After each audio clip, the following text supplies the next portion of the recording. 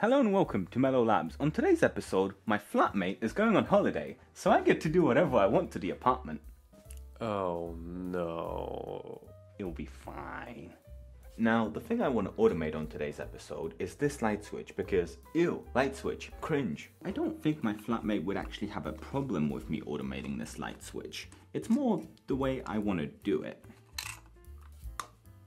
Oh. Well, that actually is useless to me. See, I'm a lot more of a uh, ask for forgiveness rather than permission kind of person. You know, ends justify the means. I'm sure that's never been a problem in history before. Ugh, this is full of dead bugs.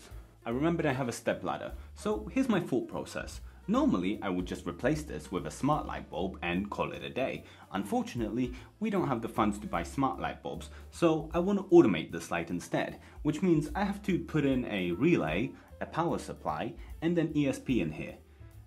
Hmm, so here's an interesting idea. There's already a power supply in here to supply power to the LEDs, which outputs 30 volts. I could just use that power supply to power my electronics with a step-down converter, right? Let's turn the light on. Oh. This camera does not like this light. 50 to 60 hertz. Should be fine. Alright, well let's turn that off and disconnect the LED panel. That might make it easier. There we go. I now have to just remember that this is all live right now. Let's undo this screw and move that over here. Grab my multimeter. Right, so this is ground, this is plus. Ah, look at that, 31 volts. I can negotiate that down to 5 volts. Huh. Sounds like I've got a plan.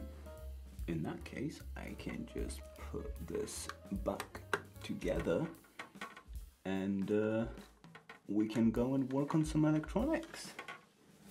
Oh, how am I supposed to get that when it's like?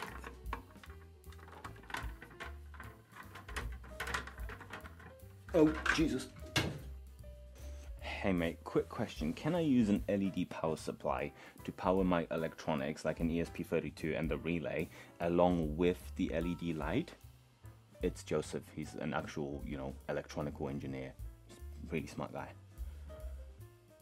Right, so I can, but I shouldn't really. I mean, it's 30 volts, and I can easily step it down to like 5 volts using like a buck boost converter thing, right? Hmm. So I can, but I shouldn't. Right, I will find another way of doing that then. Thank you. Hmm. Oh, back to the drawing board. Okay, by drawing board, I actually mean my drawers of electrical components that are definitely not organized at all, and I'm working on it. I'm working on it. Uh, so, I need a D1 Mini, as always. This one comes with pre-attached wires for some reason. I need a relay. This one from DF Robot will work perfectly. And I need a way to power these two. Now, I could like I said, just do the thing and use like a uh, like a, a, power reducer circuit thing and just step the 30 down to whatever I need. Or I also have the option of uh, where is it? Um,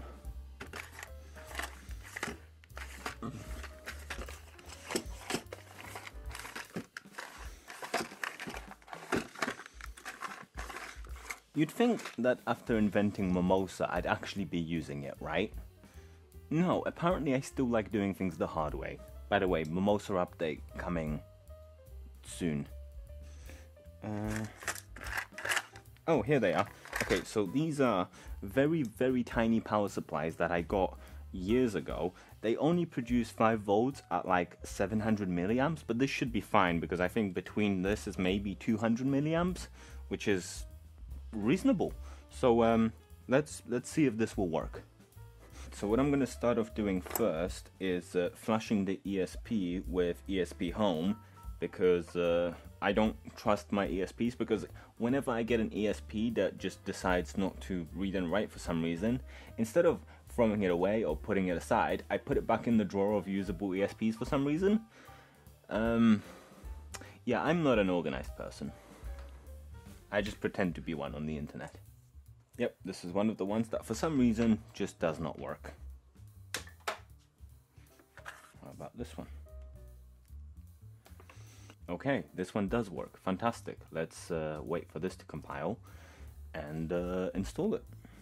Install, select file, select file, select file, install. Connecting. Erasing. Installing.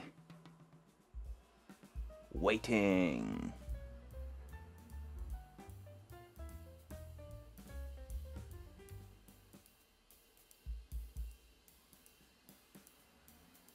Halfway.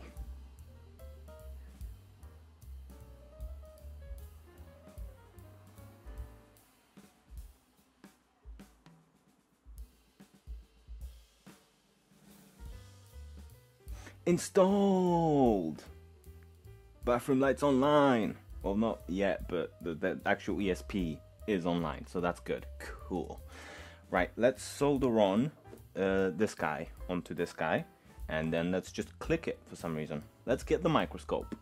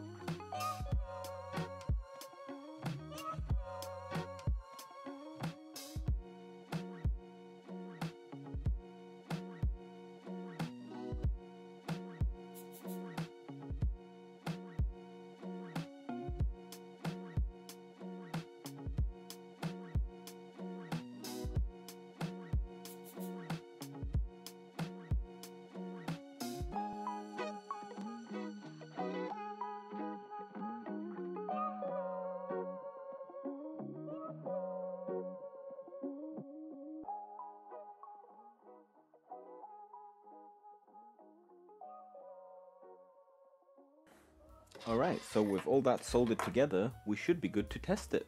Let's plug it in and upload some code to control the relay. Compiling dance, compiling dance, compiling dance, compiling dance, compiling dance, compiling dance, compiling dance. Discovery, bathroom light, configure. I am not recording my screen. Shit.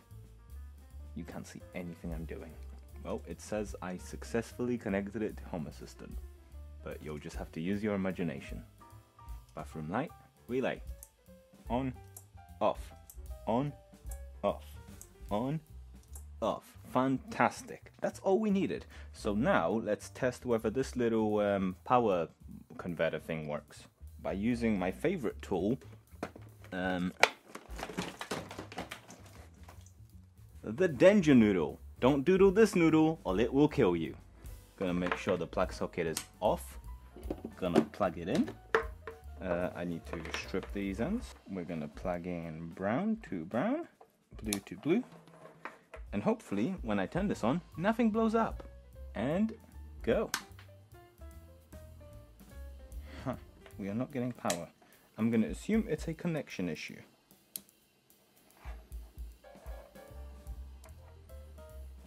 Okay, attempt number two. Ooh. Okay. Good sign. I'm Just gotta wait for it to come back online. And it works. Fantastic. Okay, so now we can go and install it in the bathroom. I am currently very out of breath. Tom is uh, probably at home um, burning things or putting wires into things where they don't need to be wires. Um, but yeah, go subscribe to his Patreon so he can leave the house for once in a while and actually like come with me to these kind of things. He really does work really hard all the time. You guys don't even know how much like he works per day on his videos and his projects. Um, he could have gone on two holidays in the past like two months, and he he didn't he didn't he chose not to because he wants to keep the momentum going on the challenge. Oh my god, I'm out of breath. Ah, mountains. But yeah, he wants to keep the momentum going, so please do go support him um, on Patreon. Uh, you'll get access to all of the early stuff. Um, and yeah, peace. Put that down. Lower that down. Right. Now at this point you might be thinking to yourself, Thomas, how are you going to install it? Well that's a very stupid question with a very simple answer. You must be new here. Smells like my hot glue gun is ready to go. So I can just put some glue on here and stick that down here. It's okay, this is all plastic, so it should be fine. Let's do the ESP. A little dab of glue.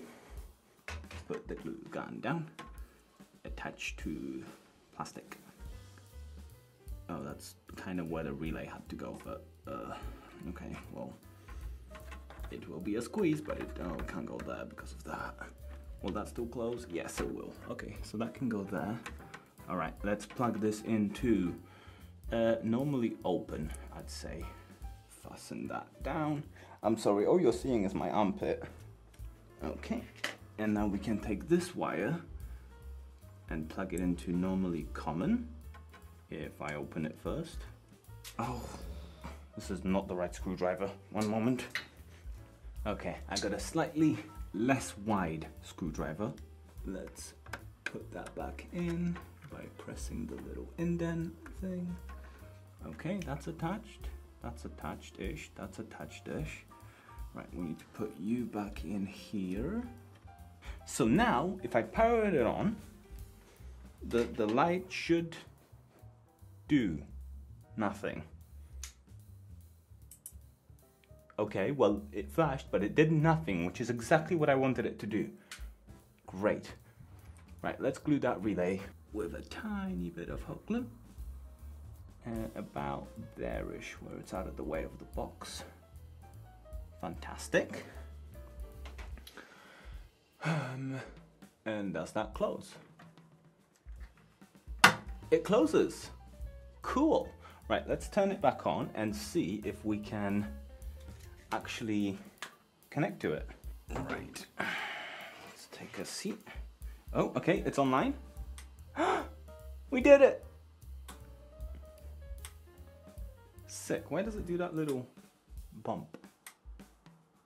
Okay, I don't love the bump, but it seems to be okay. Okay, I assume it's discharging some kind of capacitor when it reconnects back. Hmm. I mean, my other option is to, instead of connecting it down here, is to connect it up here. But I didn't want to do that, just because uh, I might have to do that. I didn't record it because I was lazy, but I did actually switch it over to turning off the power supply instead of just the LED light, and that did get rid of that weird bouncing issue, so all good now. I'm sure that bump was already there, I just never noticed it. Okay, well, it works. Fantastic. Let's close it up.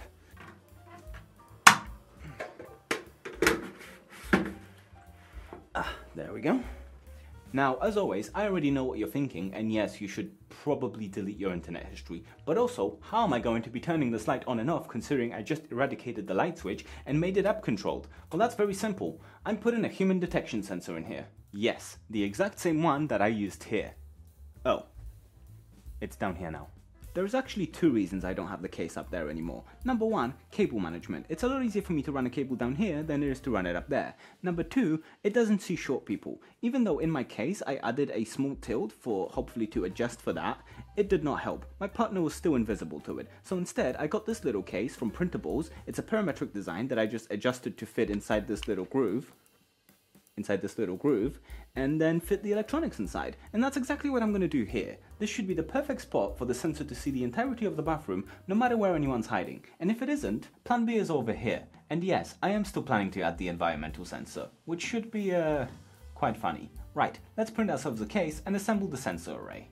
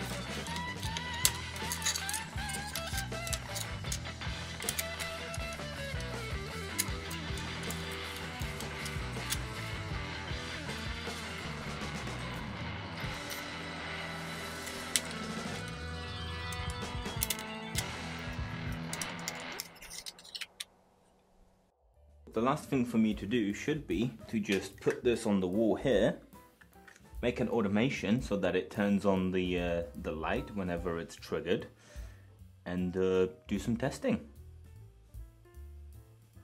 Do do do do do, I gotta do a poo.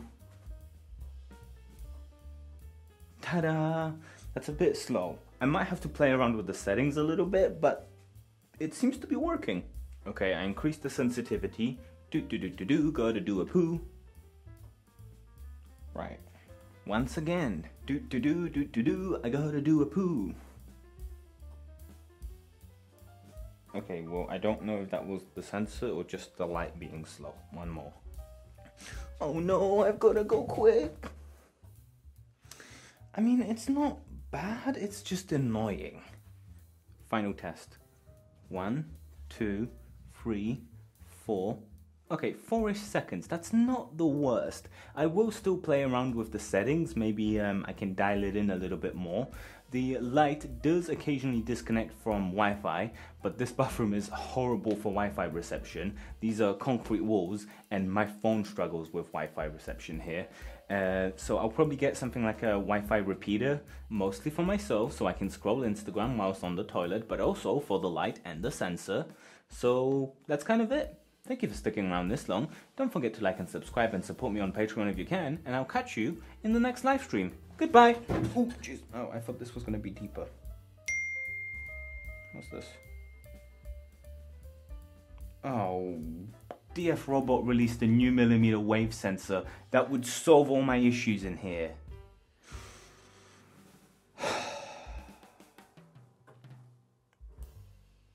yep, That's how I feel.